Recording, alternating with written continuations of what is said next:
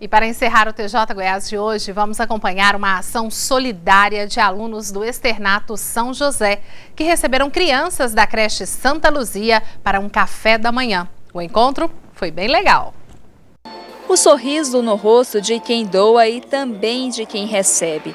Hoje, mais de 70 alunos da creche Santa Luzia receberam brinquedos, roupas e alimentos que foram arrecadados pelos alunos das turmas do sétimo ano do Colégio Externato São José. Eles estão sensibilizados para receber essas crianças, eles se vestem diferentemente, eles contam histórias, eles distribuem os presentes e há um momento de, de oração, um momento de homenagens e de entrega do que foi arrecadado pelas crianças.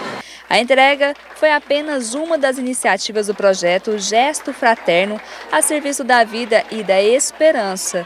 O projeto, idealizado pela irmã Ana Rita, abrange todas as turmas do Externato São José e procura desenvolver valores como a fraternidade, solidariedade, sensibilidade e partilha. Isso é, faz uma diferença significativa.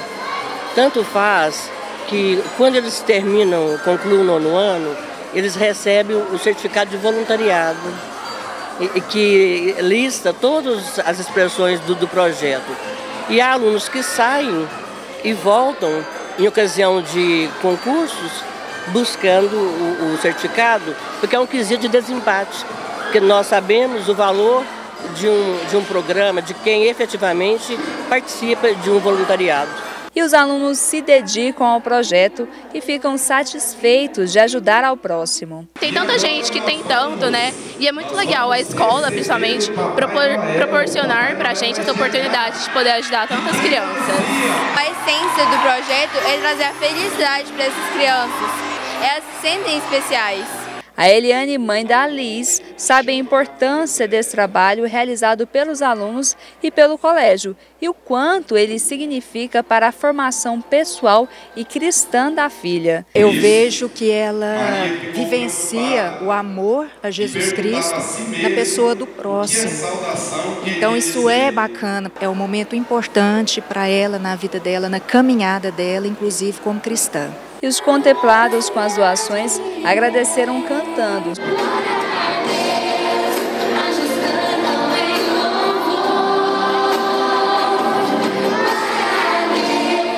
E demonstraram alegria por essa fraterna parceria. Essa troca de, de, de, condições. Eles que têm um pouquinho mais de condições, nós que temos mais um pouquinho menos de condições, mas assim, isso não importa para nós. O importa é essa afinidade entre as crianças, esse contato humano que nos ajuda também.